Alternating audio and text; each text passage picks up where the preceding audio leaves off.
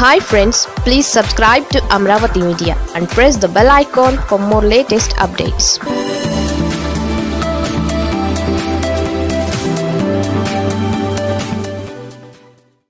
box బద్దలవ్వాల్సిందే. ఆత్మకూరులో Jagan target ఇదే. ఈ నెల ఇరవై మూడవ తేదీన నెల్లూరు జిల్లా ఆత్మకూరు నియోజకవర్గానికి ఉప ఎన్నిక జరగబోతోంది.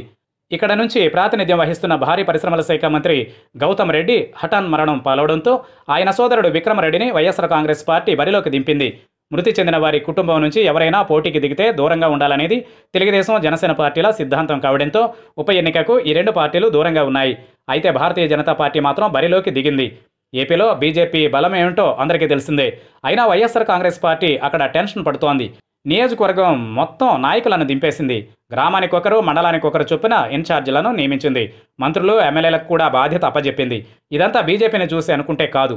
ఎట్టి పరిస్థితుల్లోనూ గెలుపు తమదే కాబట్టి భారీ మెజారిటీ కోసమే ఈ ప్రయత్నం అంతా చేస్తోందని రాజకీయ విశ్లేషకులు భావిస్తున్నారు. ఆత్మకూరులో భారీ మెజారిటీ సాధించి ప్రభుత్వం మీద ప్రజలకు ఎటువంటి వ్యతిరేకత లేదని నిరూపించడానికి వైసీపీ ప్రయత్నిస్తోంది. అంతేకాకుండా గౌతమ్ రెడ్డి వివాదరహితుడు కావడం అతని కుటుంబంపై ఉన్న సానుభూతి కూడా కలిసి వచ్చి ఓట్ల వర్షం కురుస్తుందని పార్టీ నేతలు అంచనా వేస్తున్నారు.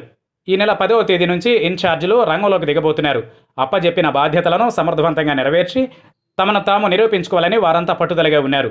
తెలుగుదేశం జనసేనకు వెళ్ళే ఓట్లను కూడా వైసీపీ వైపు మళ్ళించాలని వైసీపీ లక్ష్యంగా పెట్టుకుంది.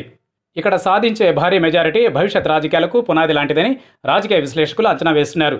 మెజారిటీ తాను అనుకున్నట్లుగా వస్తే జగన్ ముందస్తు ఎన్నికలకు నెమ్మదిగా పావులు కదుపుతారని అంచనా వేస్తున్నారు. ఒకవేళ తాను అనుకున్న దానికన్నా తక్కువగా వస్తే కాస్తంత సమయం తీసుకుంటారని భావిస్తున్నారు.